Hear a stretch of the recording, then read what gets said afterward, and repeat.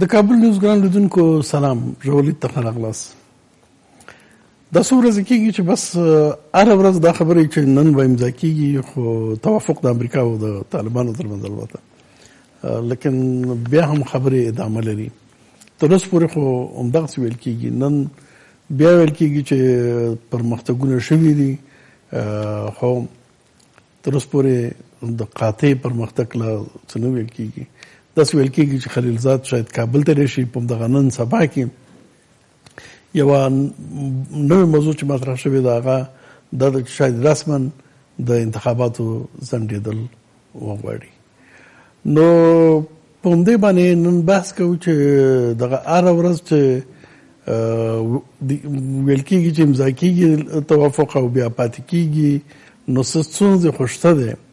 یو وخت کې ویل کېدل چې تخنیکي ټیمونه اوس خبرې کوي ملا برادر او خلیلزاد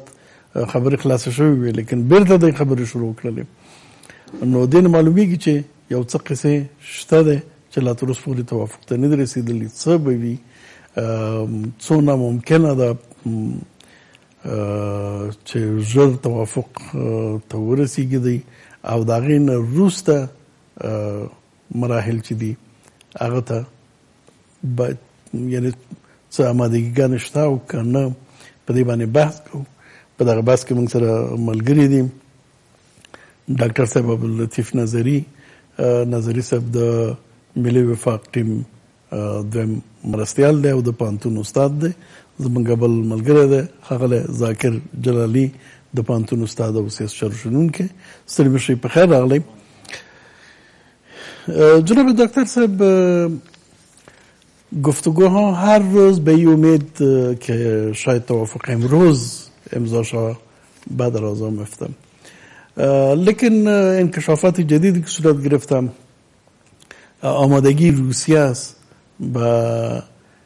به اصطلاح من تضمین کننده و همچنان روسیه از کمک به نیروهای امنیتی افغان حرف زده اگر بحث از اینجا شروع کنیم که تا نسخه فقط گفتگو میان طالب و امریکا بود لیکن حال معلوم میشه که کشورهای منطقه ما است دخیل میشن حاضر بودن روسیه من حیث زامن ای به چی مانا است و نقش روسیه و شامل شدن روسیه آیا همکاری میان امریکا و روسیه است نتیجه همکاری میان امریکا و روسیه است و یا طالبان و روسیه بسم الله الرحمن الرحیم عرض سلام احترام دارم خدمت شما مهمان گرامی شما جناب آقای جلالی و بینندگان محترم کابل نیوز من فکر میکنم که سول افغانستان همون گونه که قبلا هم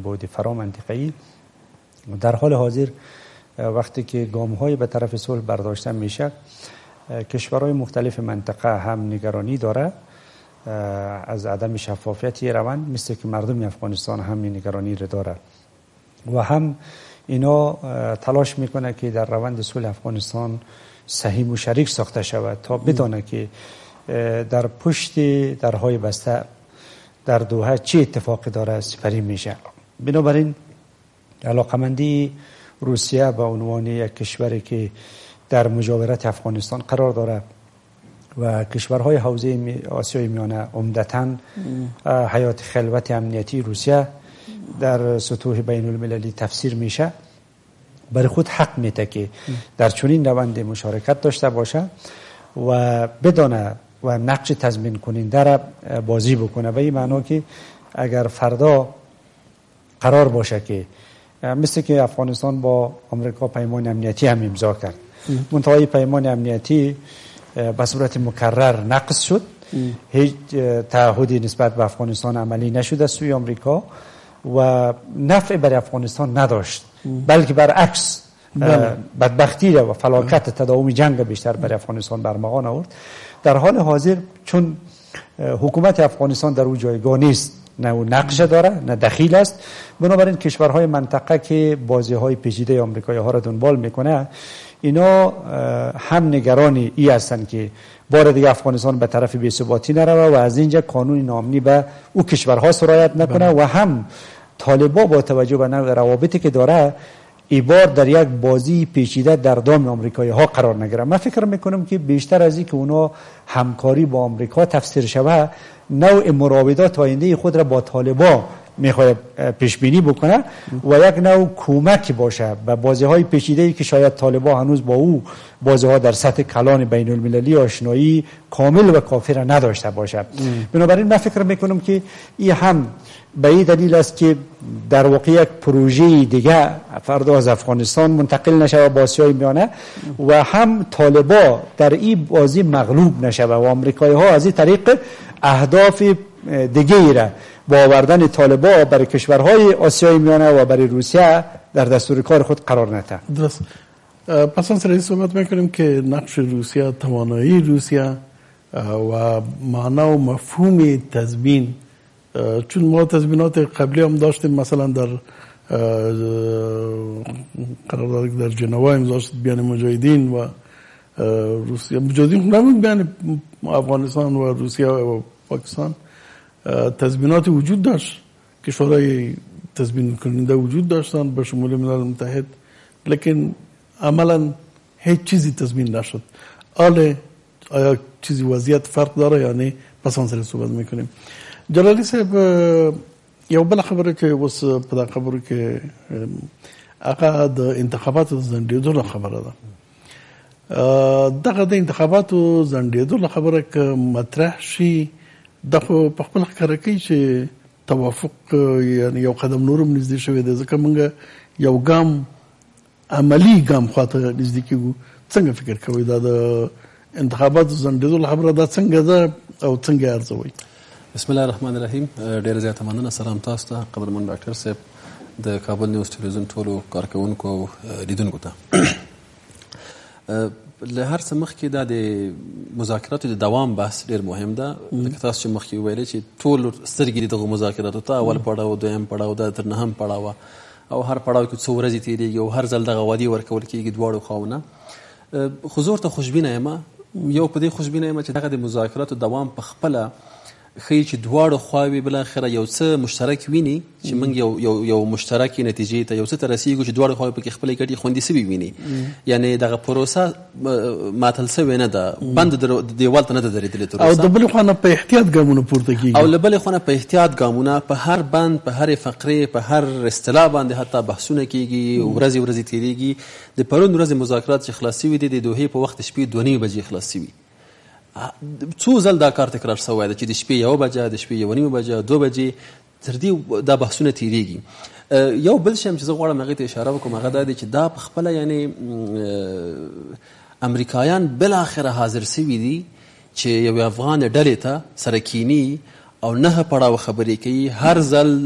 له یوې هفتې تر یوې نیمې تر دوو هفتو پورې خبرې کوي او دا لکه مخکې چې ما وویلې د شپې تر یوې دوو پورې بحثونه دا ټول ښیي چې چې چې امریکایان مجبور کړای سوي دي خبرو ته یو عرب ژورنالیست تفسیره کړې و فیصل قاسم هغه همدا لیکلي ول چې بلاخره طالبان په دې توانېږي چې امریکا غوندې یو زبرځواک خبرو ته کینی که د دولتونو په سطح خبره وکړو په دې موثره نړۍ کې امریکایان کوریایانو سره کینی یو طرف په حیث بولي ایرانیانو برجام کې کینول څو پړاوه خبرې وسوې اما طالبان یو مقاومتي ډله ده یو مخالف ډله ده چې هغه امریکا خبرو ته کینی نو بن هایس یو افغان زه دې تم ډاډه موږ په دې مخکې بحثونه کړی دي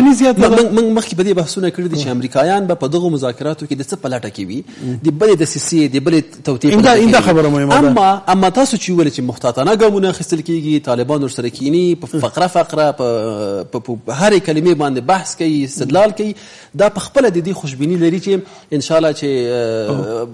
ګامونه مخاطب حاصل کیږي اوس تازه یو خبر ده چې ټرمپ وایي چې موږ د خپل سرتیرو شمیر شپږ زره واته سو ته کوم او په افغانستان کې زموږ د سرتیرو حضور چې دی دا ډیر مهم دی او حتمی دی کابل نیوز په دې اړه مخکې یو خبر درلود نو ټرمپ دغه خبره کوي نو دا خو د دې ټولې پروسې د بیرته سرنه کېدو په معنا نه که امریکایان په دې باور وي چې شپږ زره نه پنځه زره څلور زره زر پنځه سوه وسلهوال ځواکونه موږ غواړو په افغانستان کې ولرو یعنې که دوی په همدغه باور وو او دا د دوی ستراتیژي وه نو زه ګمان نه کوم چې دغه مذاکراتو د دومره دوام پیدا کړی وای امریکایانو په وسلو کې طالبانو سره دا منلي دي چې موږ به له افغانستانه وځو که دا شی نه وای منل سوي زه ګمان نه کوم چې طالبان دې ورسره ناست وای او نه پړاو خبرې دې کړې وای یعنی یعنی که تاسو په یادی غالبا دویم پړاو و چې خلیلزاد مشخص ډول ویلي چې زمنګ لپاره سره کرخه ده چې افغانستان پر راتلونکي کې دوی ته ګواښ نسی او طالبان لپاره سره کرخه ده چې له افغانستان ټول بهرني ځواکونه ووزي نو مذاکره کې خو صحیح ده چې هر څوک یو څه راکړه ورکړه کوي یو څه تیریږي یو څه مني اما سره کرخه خو هغه خط قرمز دغه اصل کرخه ده چې لاغي څوک تیریږي نو بیا خو د شکست معنی لري که طالبان اوس د امریکا حضور ومني بیا خو دا دا معنی سو چې اتلس کاله دوی غلطي کړې ده دوی هسې جګړه کړې ده باید اتلس او یا اوس شکست قبول کو اوس شکست قبول کو دا په دې معنی ده نو زه فکر کوم دغه د مذاکراتو دوام په خپله ښیي چې طالبان هم من حیث یو طرف اخته دي ورسره او زه من حیث افغان بیا هم وایم چې څرګندونې آیا بې سنجش او بې یعنې د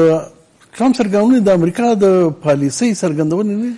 د د ټرمپ څرګندونې په ځینو مواردو کې د امریکا پالیسي ده خو په ځینو مواردو کې نه ده ټرمپ خو ټول ته معلوم ده داسې ډیر نوم چومسکي خبره ده وای د ټرمپ په اړه یو ټکی چې ډیر قابل د پیش بینی ده هغه دا چې دی اصلا قابل پیش بینی نه ده نو ټرمپ قابل پیش بینی نه ده اما د افغانستان په مسله کې یو شی چې ما مخکې ویلي چې ټرمپ دا پریکړه کړې ده چې موږ به له افغانستانه ووځو په دې کې ټرمپ سره مخالفین سته په دې کې استخبارات په دې کې حتی دا سناتوران مشهور لینزي ګراهم غوندې خلک په دې کې مخالف دي او د ټرمپ سیاسي مخالفین په کور دننه غواړي چې له دې نقطې د فشار د یو نقطې په حیث په ټرمپ باندې استفاده وکړي انتخابات نږدې دي هر آن دا ورته یادوي چې افغانستان ډېر خطرناکه سیمه ده ترهګر دي دا دي هغه دي نو که ته وځې د دې ټوله پړه به ستا په غاړه وي د دې لپاره چې ټرمپ په داخلي سیاست کې هم اخته ده کله کله دا خبره کوي که چیرته د ټرمپ پالیسي دا وي چې موږ په افغانستان کې یعنی په زغرده او په هغه غټو پالیسیو کې ټرمپ دا خبره نه ده کړې ټرمپ کله وایي چې موږ افغانستان نه وځو او هلته استخباراتي حضور غواړو کله وایي چې دا جګړه زه ګټلی سم خو د لس میلیونه انسانانو په وژلو باندې معنا دا چې دا جګړه زه نه کوم نور د جګړې د دوام اراده زه نه لرم که دا اراده زه ولرم او زه غواړم چې وایي ګټم نو لس میلیونه انسانان به ورته وژنم صحیح صحیح نو په دې باندې بحث کوو چې ستونزې د دې په وړاندې څه دی دویم پړاو د دې خبرو چې افغانانو ترمنځ توافق دی هغه د پر باید وشي جناب نظری صاحب مقامات امریکایی گفتگوها و اظهارات بسیار متضاد با هم مثلا یک روز یکی از مقامات مثلا وزیر دفاع میگه که هنوز قبل از وقت است که ما راجع به خروج از افغانستان صحبت کنیم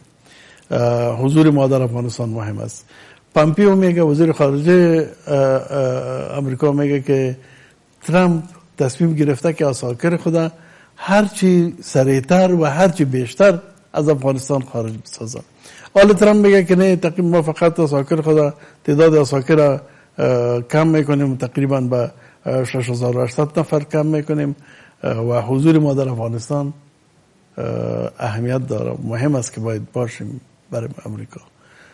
چرا چنین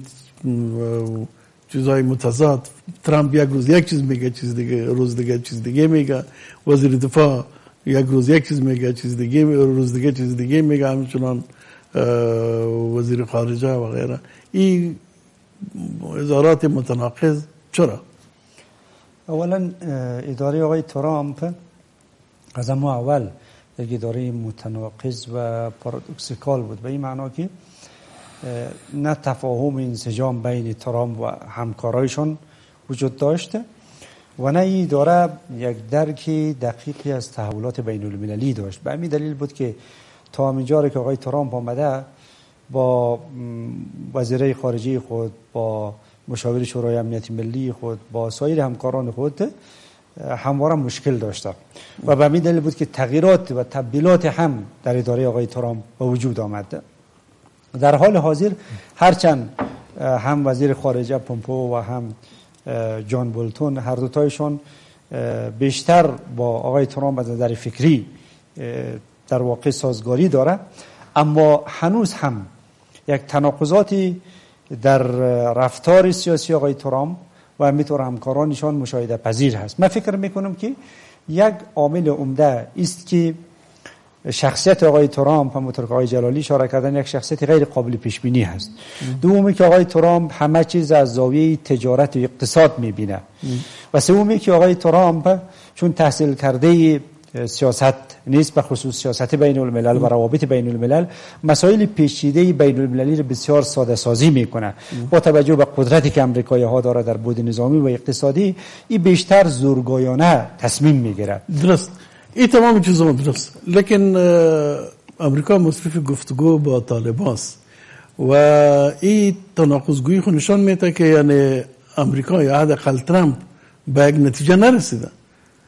پس پالیسی امریکا چیست؟ چیزی که امروز میگه ترامپ یا چیزی که دیروز میگفت یا چیزی که وزیر دفاع میگه یا چیزی که وزیر خارجه میگه پالیسی اصلی امریکا که در گفتگاه صلح سر از او اعتماد شده بتانه چیست؟ من فکر نمی کنم که امریکا خصوصا اداره آقای ترامپ قابل اعتماد باشه یعنی هم تجربه بین المللی را نشان داده و هم نوع روی کرده که در سیاست خارجی ترامپ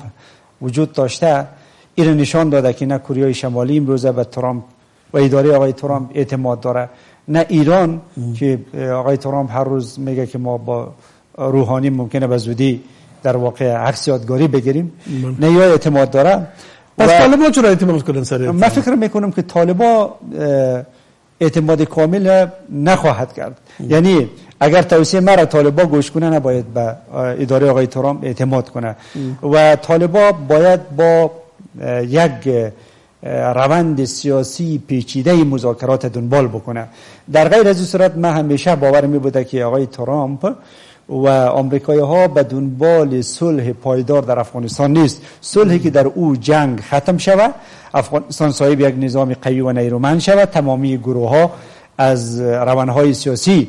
در افغانستان رقابت بکنه و نیروهای گریز از مرکز دیگه وجود نداشته باشه او از یک طرف آمریکایی ها با طالبا داره مذاکره میکنه صلح میکنه و از طرف دیگه گروه های دیگر باش تماس خود برقرار میکنه و من فکر میکنم که طالبا قطعا به این نکته ها واقف هستند و علت ای که هر روز ما منتظر هستیم که نتیجه اعلام شود و بازم هم به تعلیق یا به تاخیر روبرو میشه اینمی نگرانی های هست و همی پرایشانگویی های هست که از سوی آمریکایی ها و شخصیت های مختلف سیاسی از اینها هر روز هم مردم افغانستان هم طالبا شاهد هستند بنابراین امریکا به باور ما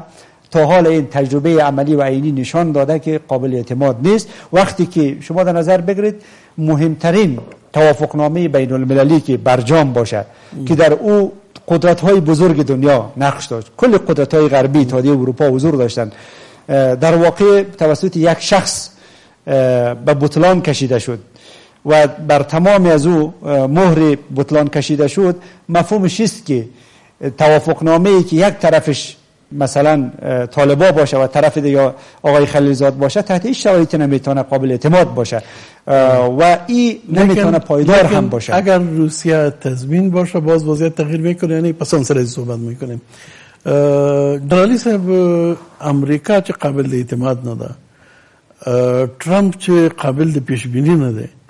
نو په دې خبرو اترو کې اوس دا اعتماد چې منه یو قابل یعنی سبا ته نه پوهیږي چې امریکا څه کوي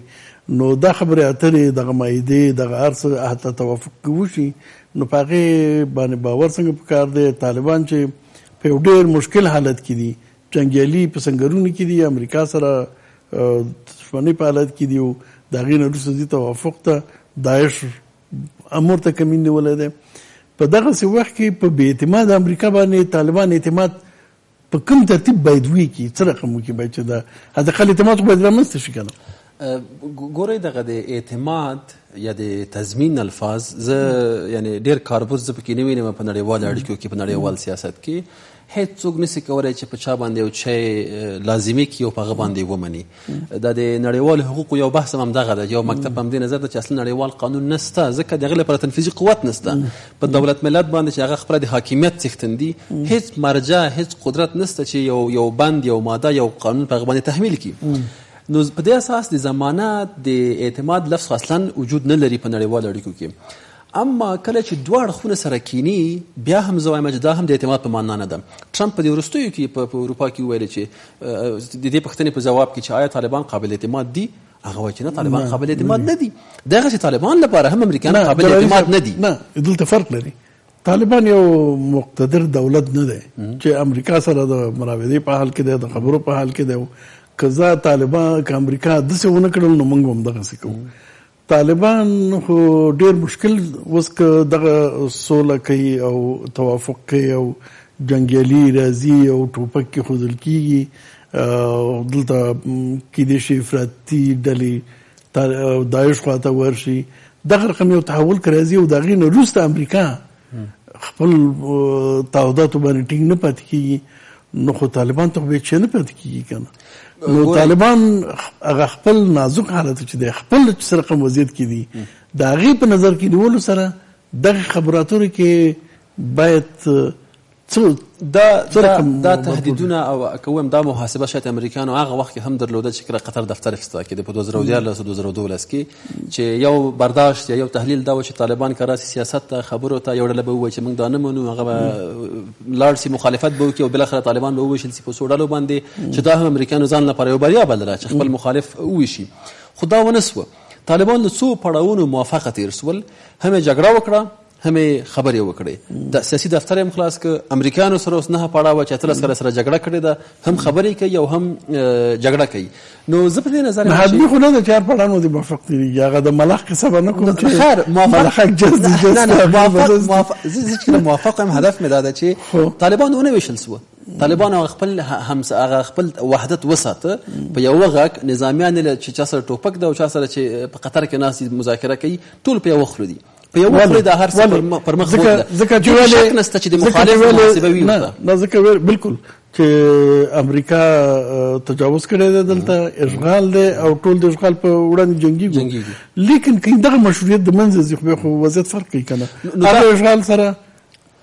ته توافق کې او اشغال ختم نه دی نو دا اشغال دا توافق کیږي نه که اشغال ختم نسی دا توافق د دې لپاره کیږي چې اشغال ختم سی یعنی کچیرته د اشغال د ختمېدو احتمال نه وي توافق زه احتمال نه وینم د توافق هم دې باندې بس کو یو لنډه د ملرو د مین روسته سچ د ګډ وډ ویل کیږي کله وی وزو او کله وی نه وزو یو تعداد خلک هم دغه تحلیل لري چې امریکا اصلا